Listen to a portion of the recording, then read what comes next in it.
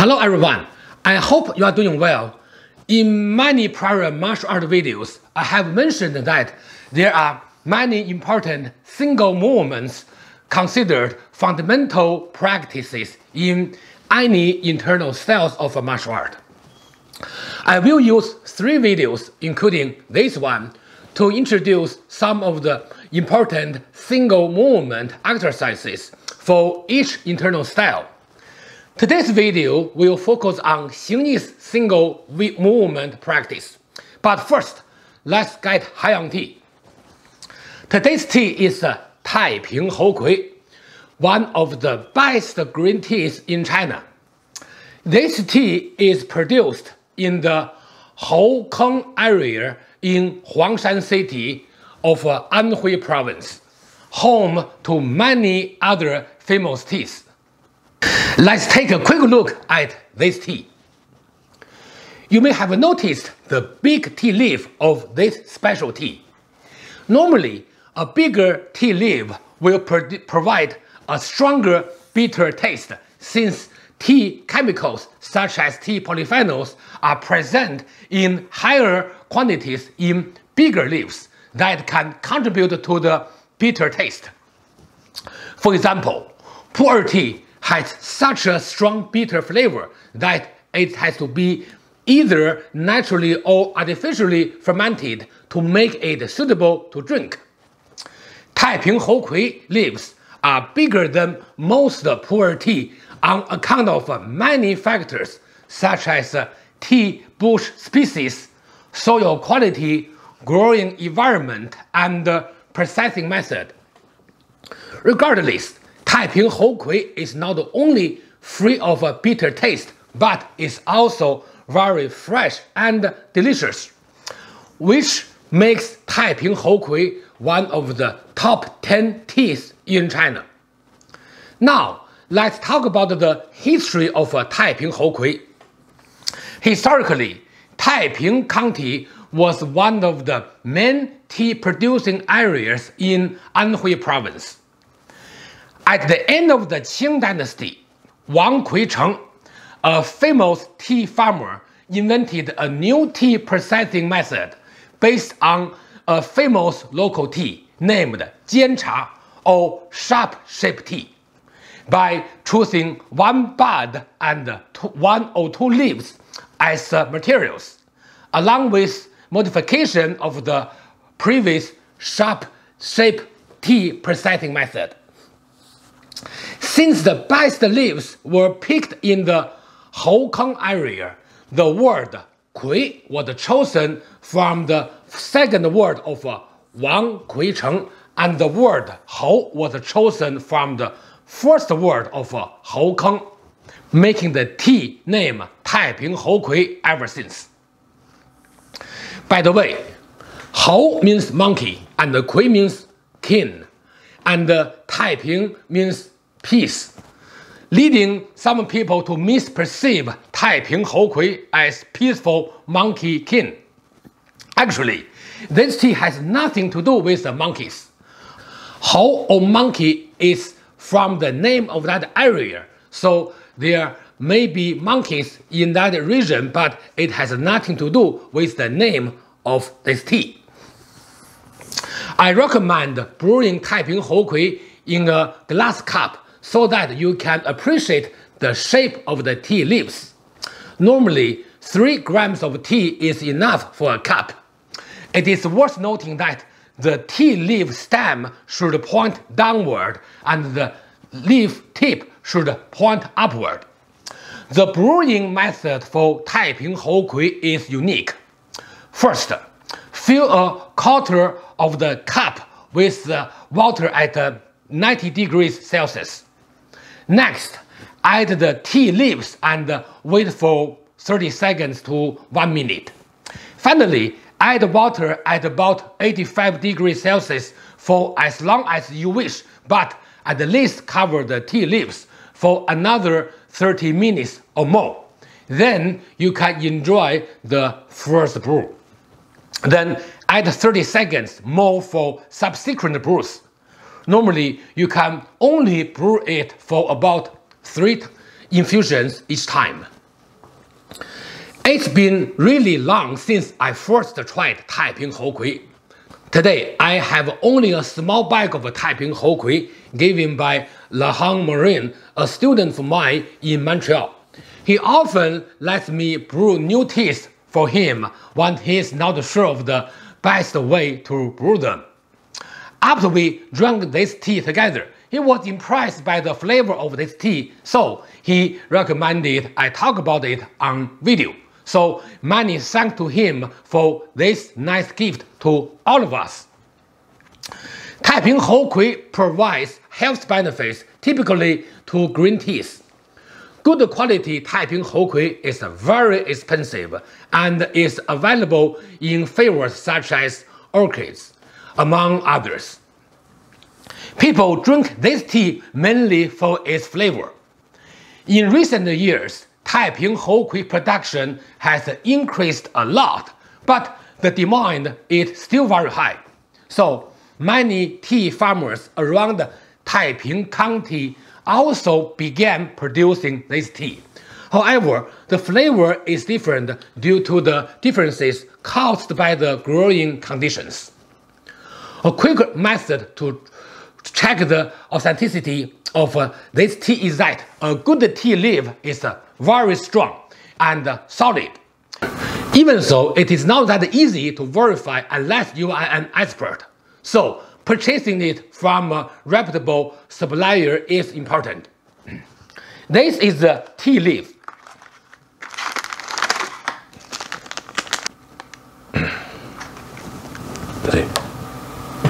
The tea leaf is very long.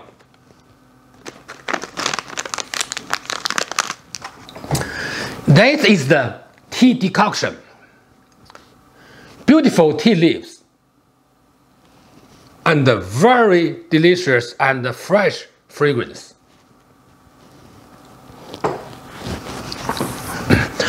A great tea is worth tasting for all of us. To let me know about your experience with Taiping Hou Kui in the comments. Now, let's move on to today's main topic. Topics covered in today's video include First, what is the single movement? Second, why single movement practice is important. Third, how many types of uh, single movements are in Xingyi? Fourth, how to practice Xingyi single movement. Fifth, principles. Sixth, misperception. Seventh, demonstration. And eighth, takeaways. Without any further ado, let's get started. Topic 1. What is the single movement? After watching Chinese martial art demonstrations, people are very often under the impression that any style has many forms or routines. And it is even more interesting to see that many beginners perceive the level of the teacher based on how many routines the teacher knows. Very often, the development of a style may also be judged based on how many routines it has. While all of these impressions may be reasonable, even intuitive at first glance. If we analyze these perspectives in detail, they are just wrong. This is what I would like to explain further in this video. But first, let's define what a single movement is in the internal style of a martial art. Briefly speaking, a single movement is just one or more basic movements that carry specific martial functions for training purposes. Compared to a single movement, a routine should have uh, multiple movements. In other words, a single movement can be considered a building block of a martial art routine. A single movement can also be a form in itself or a part of a form. Usually, a routine has more movements than a form. A form has more movements than a single movement. If a form is very short or just consists of a few movements, it can also be considered a single movement under some circumstances. For example, I always call the five elements practices in Xingyi five small forms. Each five elements form consists of a few simple movements. Another example is the Chen Xiao Tai Chi's first routine or Yilu. There are 83 forms in the first routine, and each small form consists of a few single movements. So, single movements is the building block of a styles practice. To a serious martial artist, focusing on single movement practice is the key to reaching a more advanced level. Then, why is single movement practice important? We need to first look into history, which brings us to the next topic.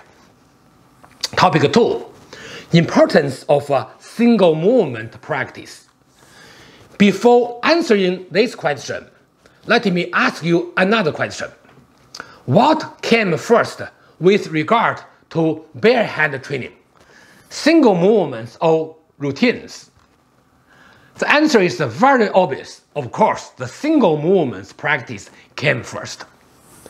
The ancient military training documents do not contain any long routines. Instead, there are lots of single movements and some short forms, which are actually very short compared to the short routines we know today.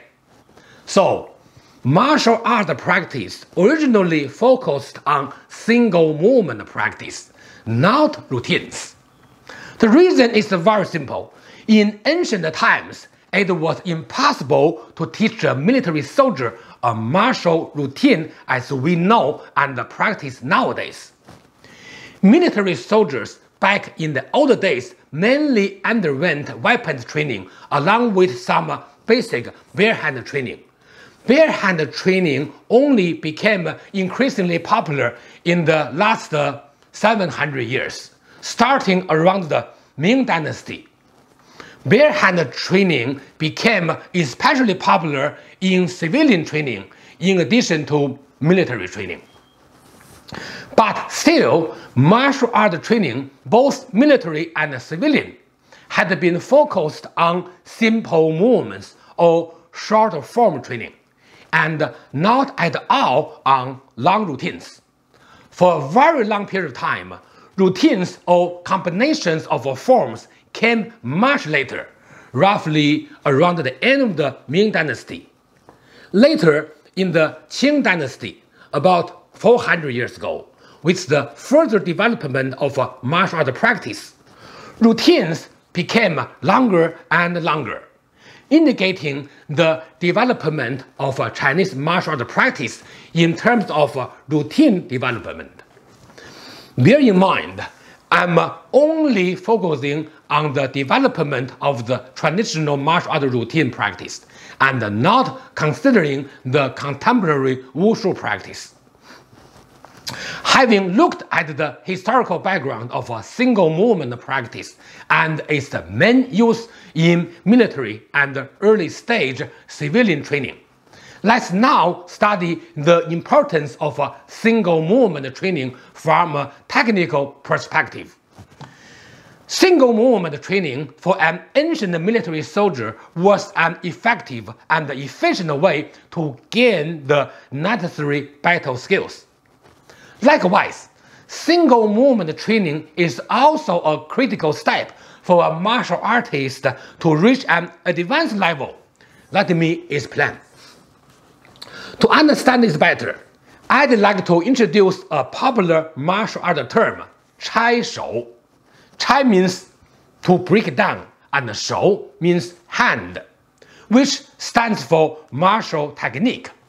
Put together, Chai Shou means a step in martial art training in which a teacher breaks the routine down to every single movement and explains the application of every single movement, which, according to the traditional standard, is a critical step for any serious student. Sometimes, people also call it Chai Quan since Quan means fist, which was the same meaning as hand or shou. In Tianjin, we used to call it chai shou in the old days, but nowadays chai shou and chai quan are both used depending on the region.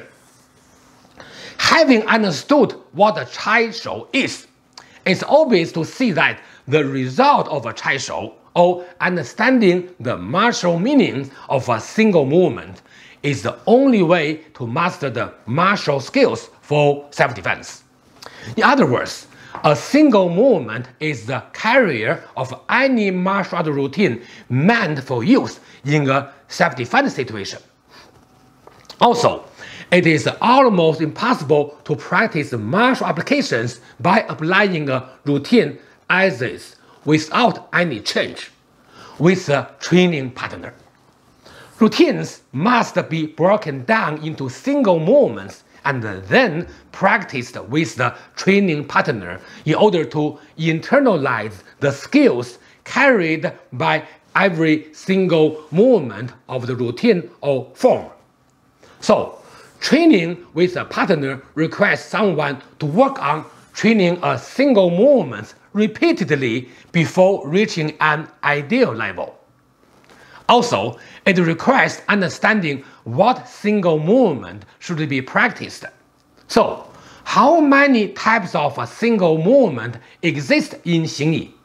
That brings us to the next topic. Topic 3. Type of a single movements in Xingyi. Before going any further, I'd like to let you know that the categorization method that I'm using here can also be applied to Tai Chi and Bagua, which will be introduced in the next two videos. Speaking from trainings and teaching experience, I categorize Xingyi single movements into three categories based on their training functions. Those are first, flexibility and body conditional training. Second, martial power training. And third, martial technique training. Let me elaborate on them one by one. First category, flexibility and body conditional training. There are many single movements traditionally used for body conditional training. Some movements are aimed to improve body flexibility. Some movements help improve physical endurance and so on. This type of a single movement training can be found in almost any style of a martial art and uh, very often they share the same practices with each other. However, Xingyi practice really emphasizes the achievement of martial flexibility through a natural approach instead of a forced stretching approach. The latter being applied in many other styles. For example, Li Cunyi, one of the most important Xingyi masters in history, introduced in writing the natural stretching approach of Xingyi. Second category, martial power training. Xingyi is a style famous for its martial power. To reach this objective, some movements were taken from five-element fist with some modifications. Some other traditional Xingyi single movements aimed at training different type of martial powers, which are beyond what the five elements offered, and so on. This category is the key aspect of the three categories in terms of Xingyi power development, since, as I mentioned before that Xingyi is the power releasing of Fajin based style. Without a powerful martial Fajin, then it won't be considered Xingyi at all. This has always been the traditional standard and should be respected, or else it will be a violation of the traditional standard of training. There are many specific practices for this category which are beyond the scope of this video. By the way, I have actually introduced many such movements in prior videos. please check out the demonstration section of my prior videos and you can practice the movements by yourself based on those demonstrations. Third category, martial technique training. It is worth noting that the procedure of a Xingyi training is to practice Fajin or power release first, and then move on to its martial techniques. Of course, they can both be developed simultaneously, but at each stage, different practices will be focused on more than other parts, which is why, in general, Xing Xingyi trains martial power first and then martial techniques. So, basically, the single movements for this category are taken from 12 animal forms, since the 12 animal forms were created aiming for martial application purposes. In the older days, each animal form had a few single movement practices in order to gain different martial skills, since each animal form represented different martial functions. Also, each martial technique may require different type of the of flexibility of different body parts and different type of body strength may be needed in order to practice the 12 sets of martial techniques correctly.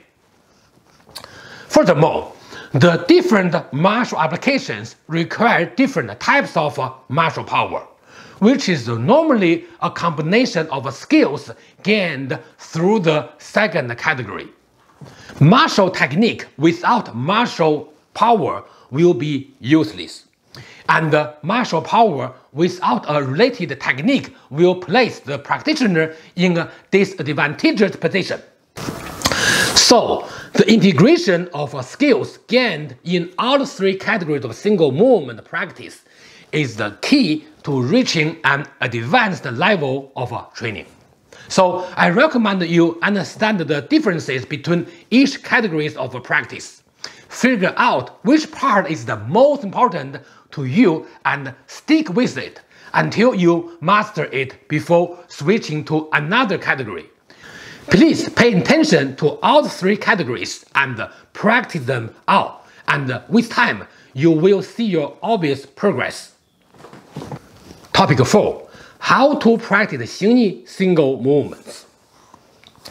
After understanding the source of the single movements used in Xingyi, a practitioner has to figure out what type of practices are most suitable to each individual situation. For example, a practitioner with the weak back should ideally focus on single movements for training the back. Of course, identifying the focus this area for a practitioner is best done by a qualified teacher with a lot of teaching experience. High quality practice is just not possible without high quality teaching and training. In the process of training, the practitioner and the teacher also have to be cautious to avoid inappropriate training that would otherwise lead to unnecessary injuries. Also, for any single movement practice, especially those that involve high speed and intensive power release, a practitioner should follow the step by step principle. First, get the movement precisely, then add speed, and eventually both martial power and martial technique will be naturally achieved. It is also important to know that it is not necessary to train for a very long time for each session. Speaking from experience, even a 15 minutes intensive training session can do wonders for your practice.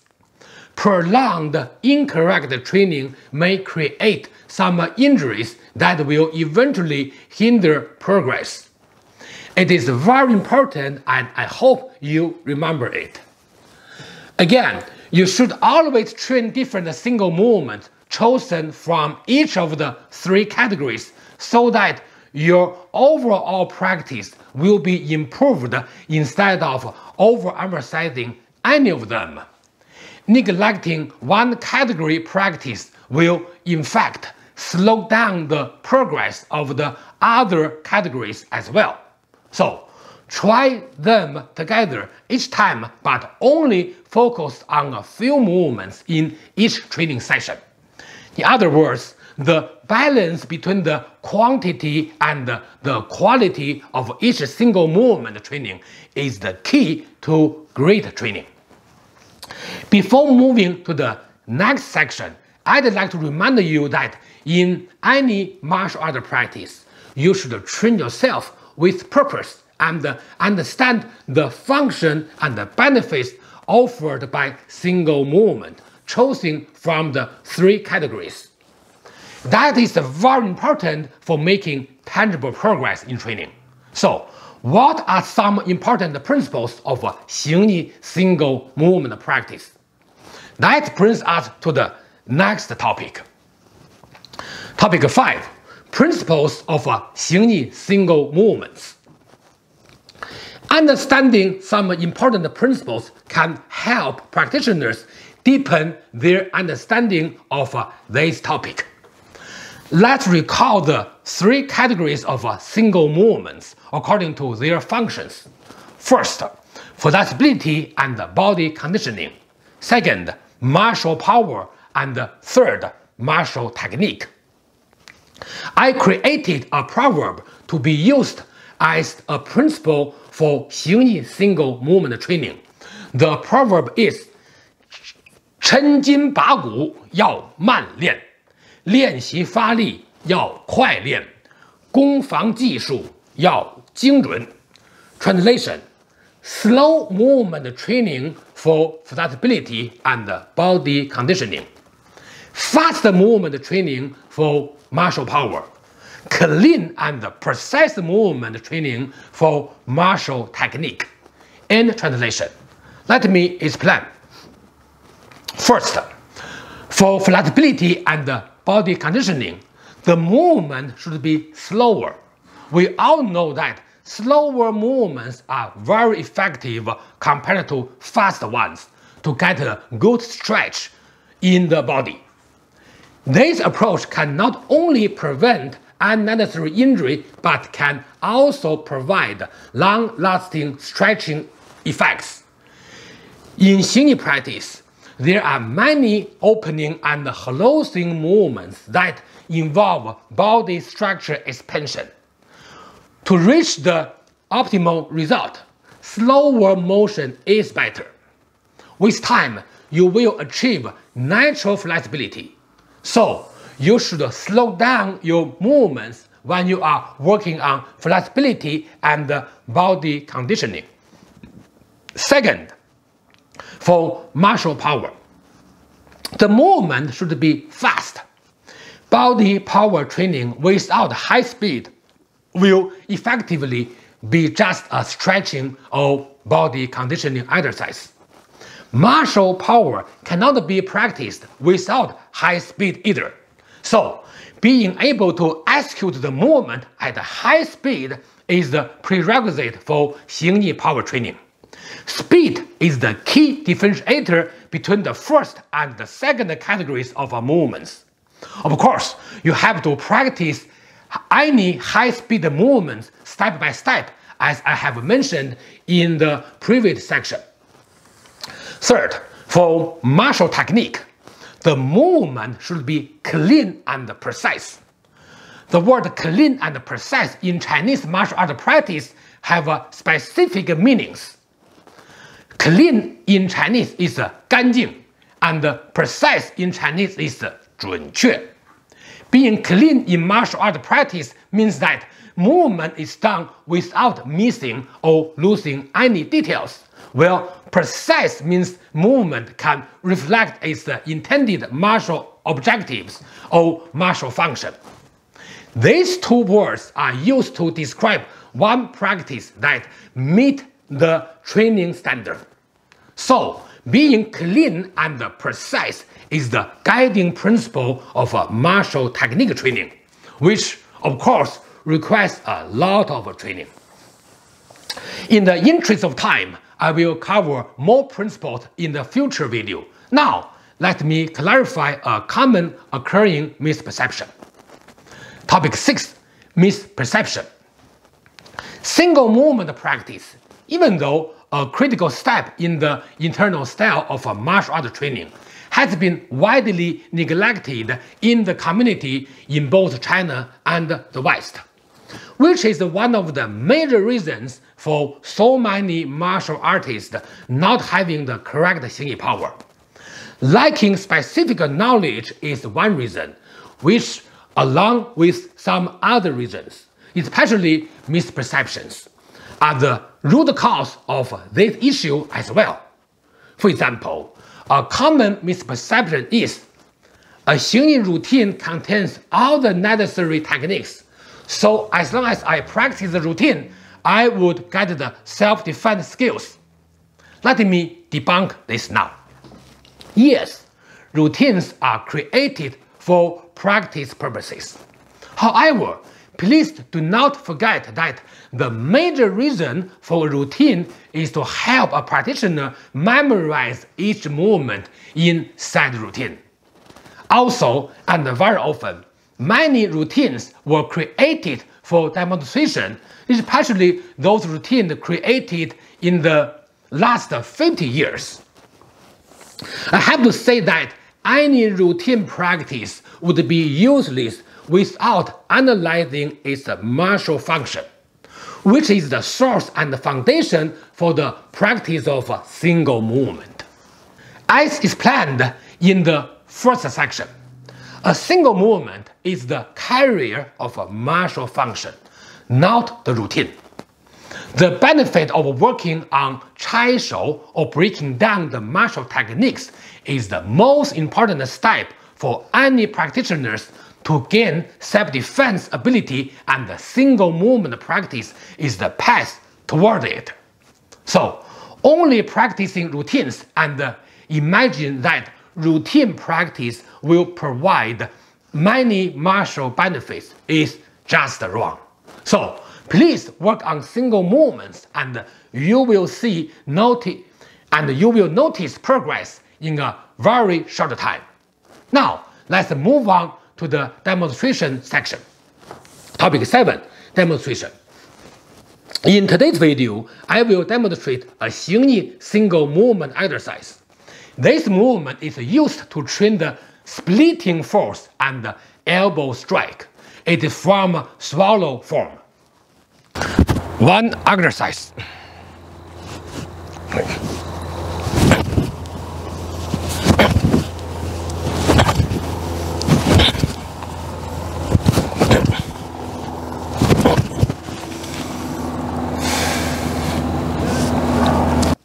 Topic 8 Takeaways. First, what is the single movement? Single movement is the building block of forms and routines in martial art training. Every single movement in traditional styles has specific martial functions. Second, why is the single movement practice important? Historically, single movement practice is the foundation of a form and routine practice. Technically, single movement carries its martial functions applied in a self-defense situation. Third, how many types of uh, single movements are present in Xingyi? I classified Xingyi single movement practices into three categories. For first, flexibility and body conditioning. Second, Xingyi power development. And third, to develop of uh, specific martial techniques. Fourth, how to practice the single movements in Xingyi. You should always train different single movements chosen from each of the three categories so that your overall practice will be improved instead of overemphasizing any of them. Fifth, principles of a single movement in Xingyi. I created a proverb to serve as an important principle to practice the three categories of 形意 single movements. 抻筋拔骨要慢练， 练习发力要快练，攻防技术要精准。Translation: Slow movement for flexibility and body conditioning, fast movement for martial power, clean and precise movement for martial technique. End translation. Sixth misperception. A very common misperception is that Xingyi routine contains all the necessary techniques. So as long as I practice the routine, I would get the self-defense skills. Remember, this is the misperception.